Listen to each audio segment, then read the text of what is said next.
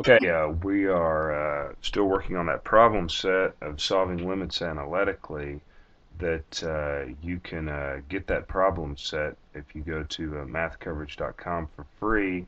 If you want to see this stuff worked out and you can print it off on your printer, um, just uh, you're going to pay a real small, small fee and and download that stuff. Okay, and so we have uh, number 23 here, the limit as x approaches 16 of 4 minus the square root of x over x minus 16. Now if I plug 16 in the bottom, um, we're dealing with 0 in the uh, denominator, and that's not good. And so what we need to do is manipulate this thing in such a manner that uh, we can avoid that and end up rewriting this limit. And we are going to multiply the top by 4 plus the square root of x. Now, if you've seen some problems earlier in this problem set, we had to uh, do the same thing.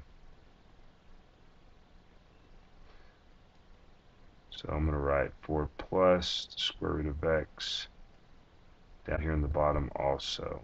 Because you see 4 plus square root of x over the 4 plus square root of x is just 1. Okay, so when we uh, foil the top out,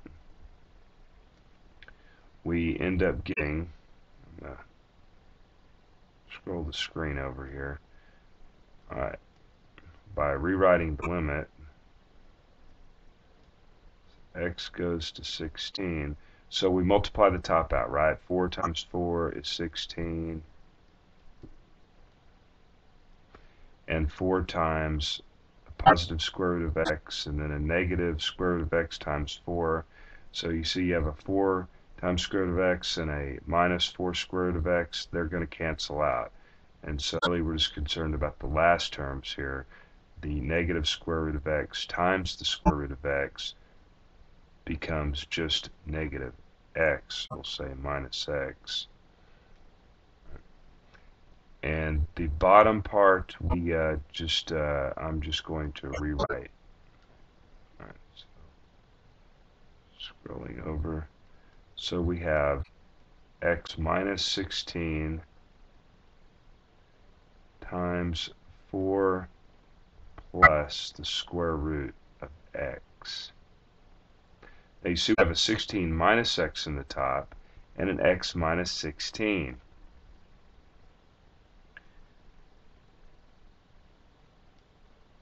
And what we're going to do is factor out a negative out of the top. So we have something in the, in the bottom that looks just like it. So if I pull a negative out of here, right, so this is just a little trick that you learn.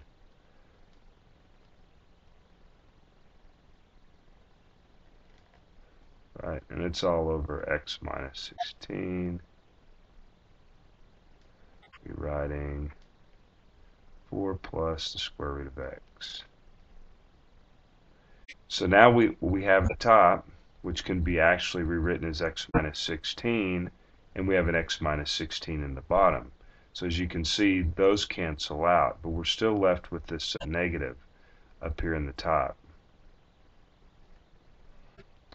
So rewriting again, I have the limit x approaches 16. So I'm going to cancel this out and this out in the bottom, so we're left with negative 1 over 4 plus the square root of x.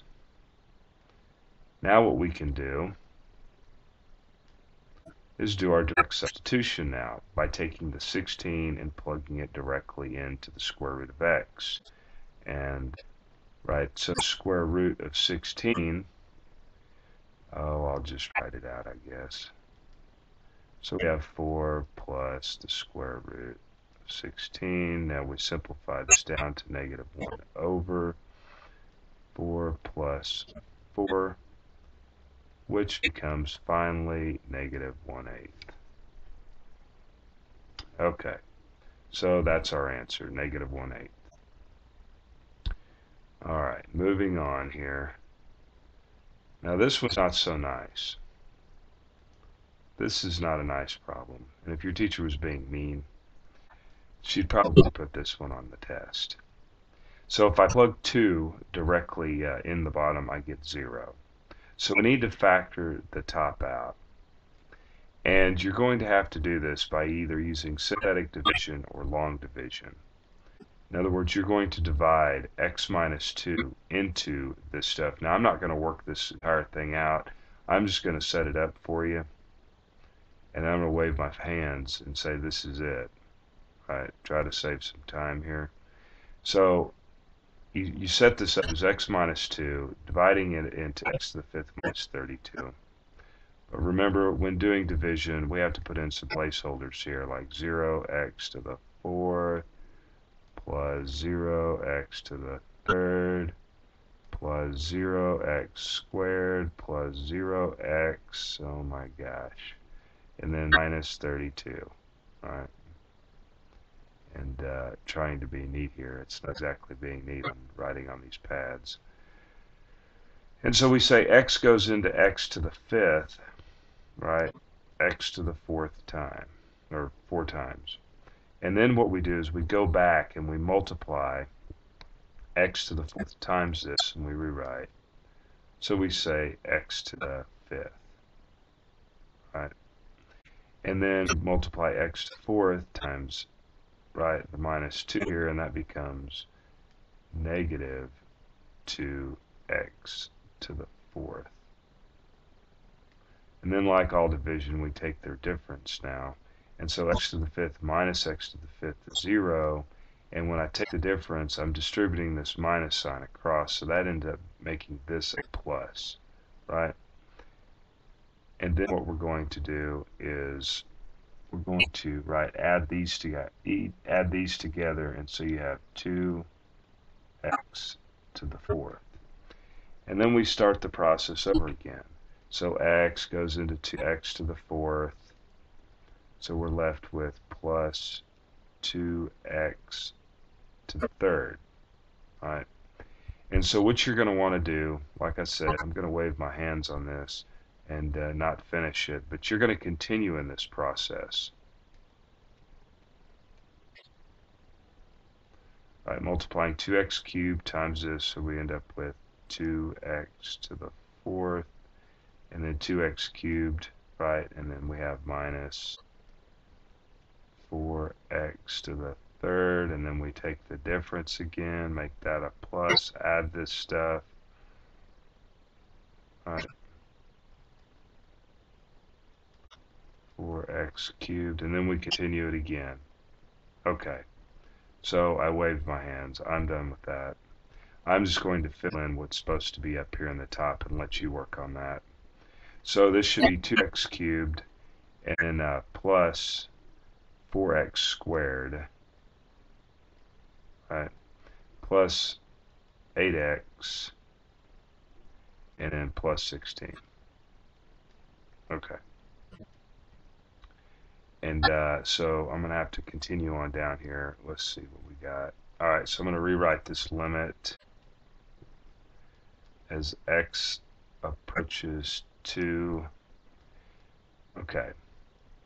And so we factored out x minus 2 out of the top, or yeah, out of this thing. So remember we were left with x to the fourth plus 2x to the third plus 8x plus 16. And we had an x minus 2 in the bottom.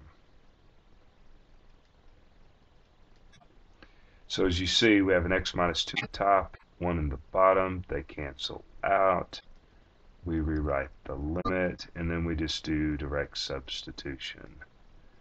Right, so we're left with x to the fourth plus 2x cubed plus 8x plus 16 and then you're going to substitute the 2 into this right so 2 to the fourth 2 times 2 to the third plus 8 times 2 plus 16 and your final answer should be 80